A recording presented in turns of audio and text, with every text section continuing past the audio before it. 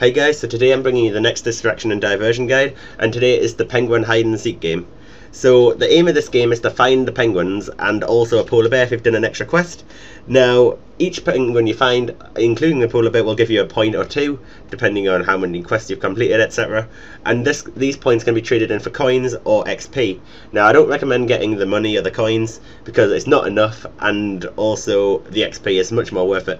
This activity can be done very fast if you follow the method in this guide, and can be even up to 10 minutes, 15 minutes on good weeks. It all depends on the locations. So what I want to mention is that the penguins, since they do move around, this guide will not be a, a guide on the locations because they do change every week. This guide is just for an introduction to penguins for people who've never done them before, and also it will show you the most efficient way to do them. A lot of people use the World 60 clancher, and really that is not the fastest way, and I recommend following this guide to find a better way. So first I'm just going to go into the requirements. Now, as you can see, there's none, but however, I have listed a lot of stuff in orange that are very useful, and a lot of, and the two in red that even more useful.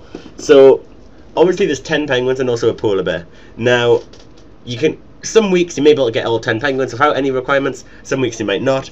And also the main but the main thing you want to do is cold war. Now the reason you want to do cold war is because 5 out of the 10 penguins will start giving 2 points instead of 1 which means you'll get a maximum of 15 points a week then instead of 10 now the hunt for red Raktuber allows you to hunt for that polar bear.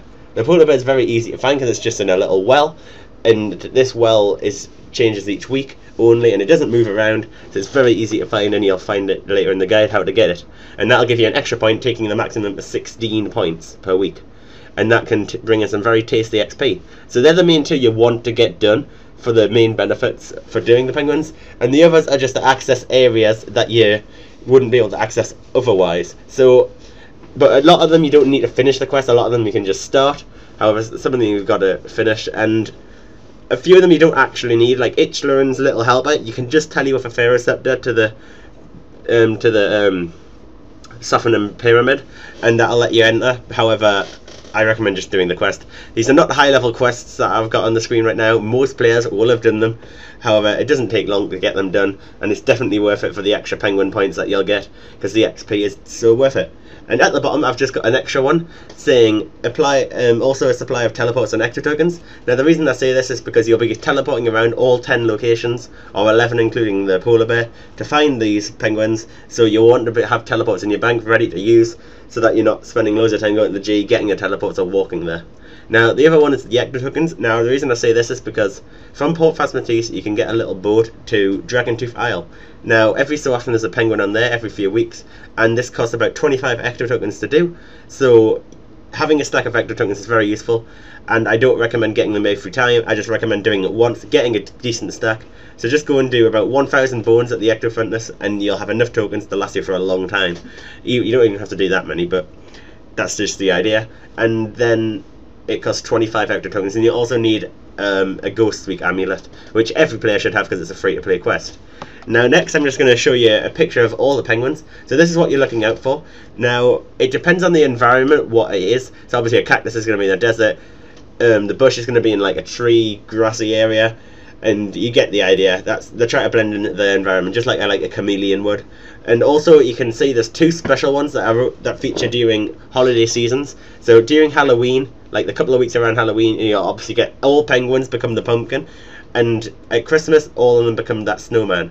Now, I love these periods because they're much easier to spot because they do not blend in. Look, you can see the massively bright colours they have. You cannot miss them, and it makes it so much easier and speeds the activity up quite a bit and then you got the polar bear which can be done after the hunt for red Raktuber quest at the top left so I'm sure you're dying to know what the rewards are now you can get coins as I said or XP so these rewards are per point you can get a maximum of 16 um, when you've done all the quests that you need to do and 10 when you haven't done um, Hunt for Red Raktuber or Cold War, and 15 when you've just done Cold War, and not Hunt for Red Raktuber. So you can easily find out what you want. So 6,500 coins. If you do if you do 16 points, you can work out how much you're going to get, and it's not too much for the time and effort because it could take it could take like 25 minutes to 30 minutes some weeks when you get bad penguins. And the other reward is the XP. Now this is definitely worth it and if you get all 16 points in a level 99 skill you'll get almost 40k XP so you can see that's very decent for like 10 to 15 minutes work even half an hour work getting 40k XP is very good for skills like rune crafting and Slayer and the other sort of skills that you don't want to train. And even if you want to put it on Herblore or things, that'll save you. Uh, putting it on Herblore will save you more money than you can make from taking the coins. That's the ironic thing. So you can see the rewards are very worthwhile and doing it once a week and this activity is very fast to do. Doesn't take long at all. It's quite enjoyable to do too.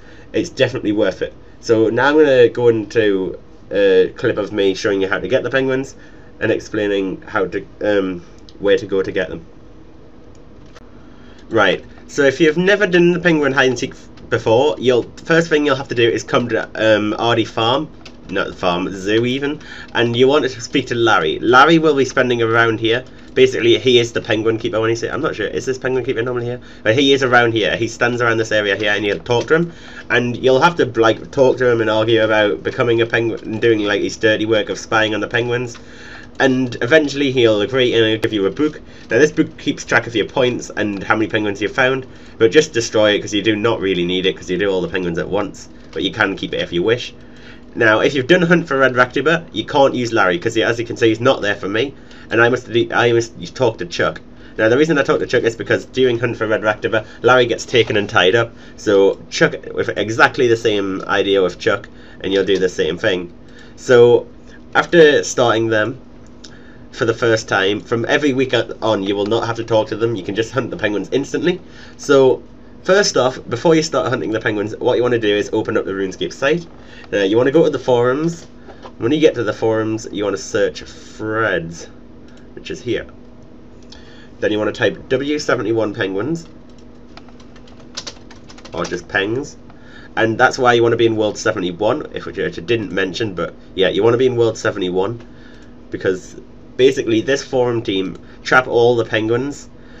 I, Tinkerbell, and a few of us like Amazon Kitty, Amazon Katie even, and Twillo all do it, the thread together, and they trap all the penguins, and along with the help of others, and look, they can list all the locations constantly. They update you, as you can see, the thread's already up to five pages, and they do this every single week without without fail. So if you go down, what you want to do is find the last latest post which lists all penguins. So is the one where is it? Well, there's not one on the last two pages. That's not normal. Right, so there's the latest one. So as you can see, there's the list of locations all all done for you. Now, they always try to trap all the penguins. There's a few locations that can't be trapped, which will just be um, basically normally generally trapped in a single area. So like the east of Karamja cannot be trapped, so it can roam the whole of the east east of Karamja Island. So generally these penguins you'll have to hunt yourself or go to the World 60 penguins as you would normally. However, it's much easier to just find it yourself. It saves you the effort. So as you can see, it's listed all the locations here. So there's Dorgesh-Kaan, Mage Training Arena slash Al Kharid, Entrana, Barbarian Outpost, Southern, um, Southern Desert, and you can read all these yourself if you go to the thread. Now, if you read it, it tells you like exactly where it is. So Dorgesh-Kaan trapped in Ermeg's house in the southwest part of town. So you don't have to bother looking for it. It'll just tell you. And as you can see, please make sure you take notice of these messages. Please spy carefully and close the doors behind you because you do not want to let the penguin out and that's the last thing you want to do. And then it's got at the bottom additional spy after completing the hunt for Red Raktuber quest. The polar bear, which is in the North RD well. So they list all the penguins which are two points and which ones are one point and the list the locations where they are. So as you can see, Southern Desert Cactus trapped in the L-shaped building south of Simona in Pollnivneach. Now, after I look at this thread, I make sure like most of them are trapped because some you don't want to go when like there's just been an update and they're all not trapped. And what you want to do is go through all these locations and make sure you got a teleport there. Don't don't go for the direct location because that's just what the location's called. So you just want to get to a bank so you can get the teleports out and you want to look for the location. So this is Ermeg's house. Now I haven't got a Dorgesh-Kaan um, teleport. So what I do for Dorgesh-Kaan, I just tell it to Lumbridge and get there. However, I've noticed one penguin on here, or three in fact. There's where Entrana, Entrana, Entrana. So as you can see, Entrana, which is not normally trapped. This penguin, it's normally left to roam, and this penguin you can't to get to Entrana you can't take any armor so these type of penguins you want to do first really and to get there I'm just gonna grab a ring of duelling out Ring of Duelling, Ring of Duelling, there it is. And I'm just going to tell you to a tree. Mobilizing armies, yeah. So that's what I do. Always first, I go and get the ones that I don't want to wear anything for. So including the wilderness ones. So as you can see, there's two wilderness ones, and they're both in the lava maze. This is the most common place to, from the movie Trapped in the Wilderness. So then I'm going to use this to teleport to Port Sarim, so I can get to Entrana. And the reason you want to do these ones first is because generally you can't have any armor on when you go to Entrana and during the wilderness when you enter the wilderness you do not want to take loads of gear because you can easily get PK just randomly by some idiot and you don't want to lose your stuff and I don't want you to risk your stuff either. So don't wear an outfit or anything when you're doing these penguins and get them done first. So just sailing to Entrana and as you can see it has the time of the the update of the post so this was edited at 343 so you know how re like reasonable the information is going to be. You obviously want a more recent one, which the threads only got more recent ones than this. But it says confined to the island last spotted not on the north side, but that was ages ago. So it's most likely going to be anywhere on this island. So I'm just travel. I just travelled to Entrana, and all I want to do is hunt for the penguin. Just run around. This one's confined to the island. It's a small place, Entrana. You're not going to be you're not going to be running around for hours because it it, it doesn't take hours to run around the whole place. So I'm going to find the penguin and then unpause. And I found the penguin. It's trapped in this little pen here. So just want to quickly open the gate. Spy on the barrel and make sure you close the gate if it's trapped in there because you do not. This goes for all penguins. Make sure you shut the doors if they're trapped in a building. Some traps do not involve doors. You just want to be careful on them ones. Make sure you don't step on the penguin. Just click it and teleport. That's simple as that. So as you can see that's trapped in the pen and most of the penguins will be trapped in little areas like this. I just didn't read on in the thread, I just read that post. So that's all you do is click on the penguin. You can see it's quite obvious it's trying to blend in as a barrel but not getting away with it because it walks around. So if there are steps still like that, it's very difficult to see, look. It just blends in with these barrels here. So that's all you have to do and obviously if I get back to a bank, I'm just after getting that one I'd go for the wilderness ones. But simply for this guide's sake I'm just going to get all the teleports. So what I'd do is go through all the areas getting the teleports out. So for Doggish Corner I just want a Lumbridge teleport. So generally a good thing to do is just get all your teleports out and then go through them thinking if you've got them. So I just get a Lumbridge teleport out. Next one is in the Mage Training Arena north of Duel Arena. I've got my Ring of Duelling so I'm fine. Next one is Antron I got that next one is trapped at the Waterfall Quest Icon House by the raft so what I'd do for that is get a games necklace out. Not that one's that one. And so I can just teleport to the Barbarian Outpost and run south. That one's in Pollnivneach. So what I'd do there is get a Pollnivneach tab. There. Next one, Mort Myre Canifis. So that's a house tab and I use my Canifis portal. And the next one's near recently spotted near Lifford Farm. So you can just home tele with that to get to the Lunar Isle the Elflands near the limestone mine. So to get to this one, I just recommend getting your elf crystal out and telling Lletya. And the rest of them are in the wilderness. And to get the wilderness one, the fastest way is to get a lava titan pouch out and you can teleport right near the lava maze and you just want to run to the other side and there you're there. And the last polar bear is a North Ardee well, so generally I always go and spend spend my points after because that's another thing I should mention is that you can have only a maximum of 50 points. Once you get 50 points you will not store them any longer. So basically any points you get after 50 will be lost. And this is obviously to stop you going from like 60 to 99 room runecrafting in one go with a shit ton of points like 10k points.